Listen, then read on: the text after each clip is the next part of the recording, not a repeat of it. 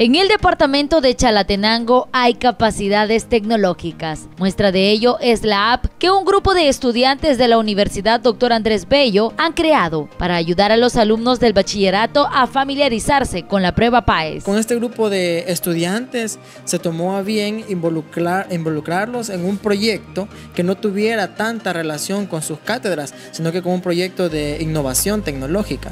Empezamos a trabajar básicamente desde hace un año y hemos venido desarrollando poco a poco, aprendiendo básicamente de nuestros errores y eh, ahora tenemos ya esta plataforma prácticamente probándola en tiempo real y en usuarios reales. Se trata de ForEdu, la app que tiene contenido educativo para estudiar basado en información oficial del Ministerio de Educación y cuenta con una opción de cuestionario donde los usuarios pueden realizar la prueba PAES del año anterior, la cual al finalizar ofrece una nota con los resultados obtenidos. Está ligado solamente a tener las cuatro materias básicas que son matemáticas, ciencias, lenguaje y sociales, ¿verdad?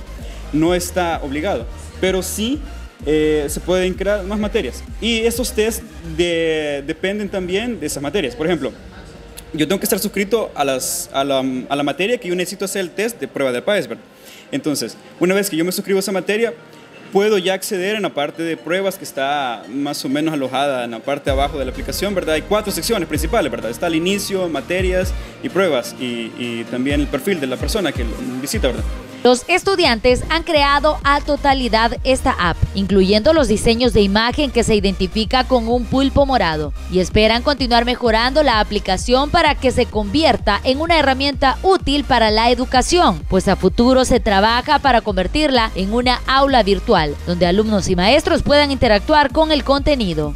Con imágenes de Brian Rivera para CN Noticias, Esmeralda Alas.